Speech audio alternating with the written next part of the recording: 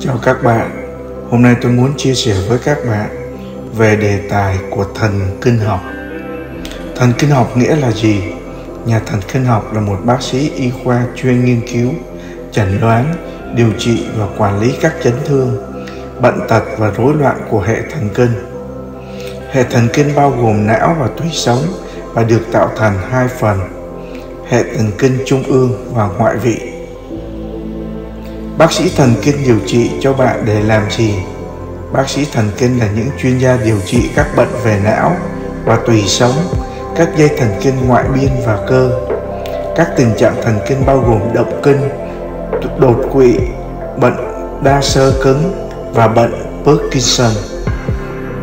Tại sao bạn cần gặp bác sĩ thần kinh? Một bác sĩ thần kinh điều trị các rối loạn ảnh hưởng đến não, tùy sống và dây thần kinh khi bạn tái đối mặt với điều kiện nghiêm trọng như đột quỵ, bệnh Alzheimer, bệnh đa sơ cứng hoặc nó là rất quan trọng để tìm ra bác sĩ phù hợp với bạn. Bộ não của bạn và chức năng ghi nhớ của nó phụ thuộc vào lưu lượng máu tốt và các dây thần kinh khỏe mạnh để hoạt động tốt. Các nhà thần kinh học làm gì, những xét nghiệm gì một thần kinh kiểm tra đánh giá, động cơ và cảm giác kỹ năng. Nghe và nói, tầm nhìn, sự phối hợp và cân bằng. Nó cũng có thể kiểm tra trạng thái tinh thần, tâm trạng và hành vi. Khám sử dụng các dụng cụ như âm thoa, đèn pin, búa, phản xạ và dụng cụ khám mắt. Bác sĩ thần kinh có điều trị chứng lo âu không? Ngoài ra chẩn chẩn đoán thần kinh thường có thể dẫn đến lo lắng và trầm cảm. Do đó các bác sĩ chuyên khoa thần kinh lại chăm sóc thần kinh hoàn toàn, chẩn đoán lên đề phòng các triệu chứng của bệnh cầm trầm cảm và căng thẳng. Các nhà thần kinh học của chúng ta đôi khi có thể điều trị những lo lo, lo âu của bạn Nguyên nhân của bệnh rối loạn thần kinh thực vật là gì? Các nguyên nhân cụ thể của các vấn đề thần kinh khác nhau như có thể bao gồm rối loạn di truyền, bất thường bẩm sinh hoặc rối loạn, nhiễm trùng và các vấn đề sức khỏe môi trường hoặc lối sống bao gồm suy dinh dưỡng và chấn thương não, chấn thương tủy sống, chấn thương thần kinh và nhạy cảm với Luston. Căng thẳng có thể gây ra các vấn đề về thần kinh không? Các triệu chứng của rối loạn thần kinh chức năng có thể xuất hiện đột ngột sau một sự kiện căng thẳng hoặc với chấn thương tinh thần hoặc thể chất. Các tác nhân khác có thể bao gồm những thay đổi hoặc gián đoạn trong các hoạt động của não ở cấp độ cấu trúc, tế bào hoặc trao đổi chất.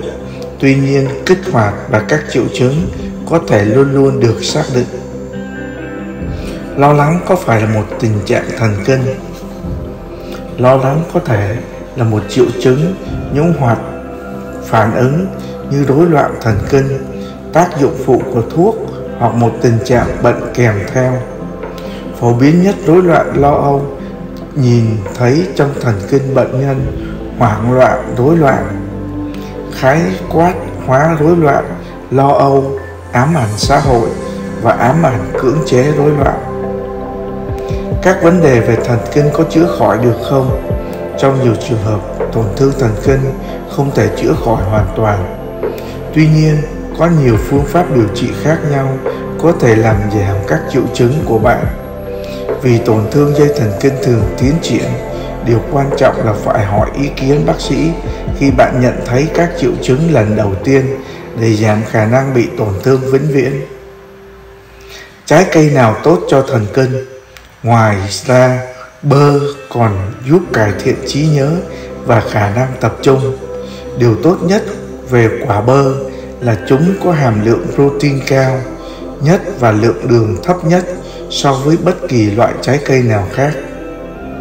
Hạt nhân có hàm lượng cao axit béo omega 3 có lợi cho não và rất nhiều vitamin E bảo vệ não giống như cá hồi.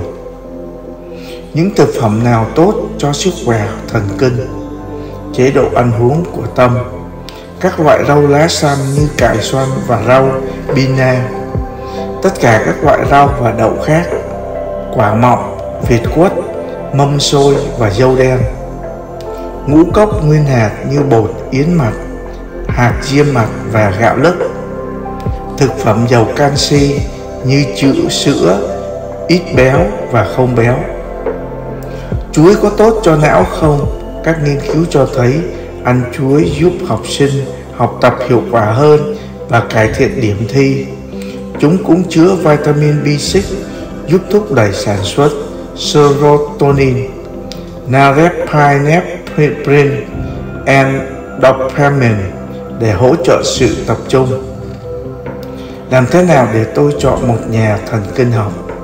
Chọn một bác sĩ thần kinh mà bạn cảm thấy thoải mái khi nói chuyện và hộ người hỗ trợ nhu cầu thông tin của bạn.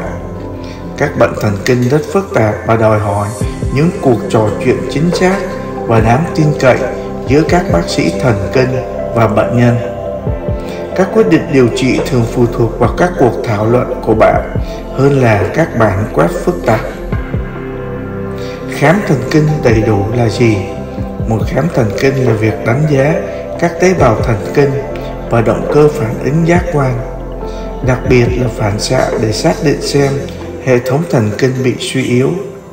Điều này thường bao gồm khám sức khỏe và xem xét tiền sử bệnh của bệnh nhân, nhưng không phải điều tra sâu hơn như hình ảnh thần kinh.